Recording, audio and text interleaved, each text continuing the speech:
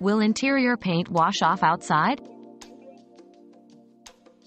No, interior paint is not suitable for outdoor use as it is not designed to withstand the elements such as rain, wind, and sunlight.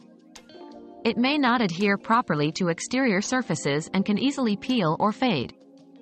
It is important to use a paint that is specifically formulated for outdoor use to ensure its durability and longevity.